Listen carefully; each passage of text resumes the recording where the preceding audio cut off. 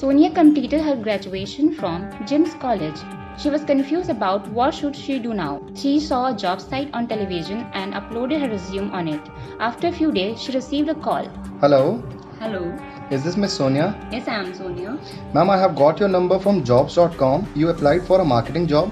Yes. Ma'am, your resume is selected and you have to come at Radisson Hotel on Sunday. But in a hotel? And why on Sunday?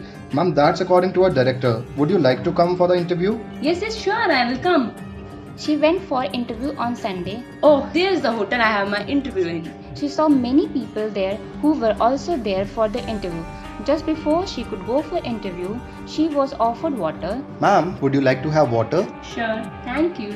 About an hour later, she just got up in a bed. She don't remember what happened after she had water. Her clothes were on the floor. She was exploited. There is no one here now.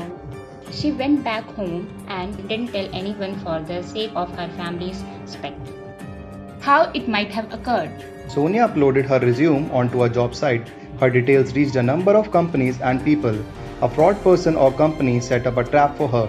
They called her for an interview at a hotel on Sunday. She couldn't sense anything fishy in this and went to the hotel. Again, a fake setup was created there. She had water which might have contained some sort of drugs and made her asleep. When she got up, she was exploited.